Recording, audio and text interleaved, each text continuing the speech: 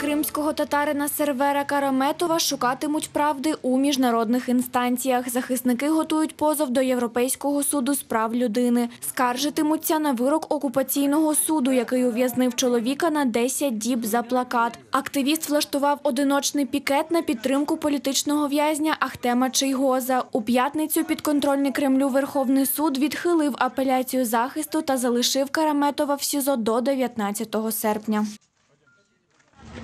Пусть э, люди делают вывод сами.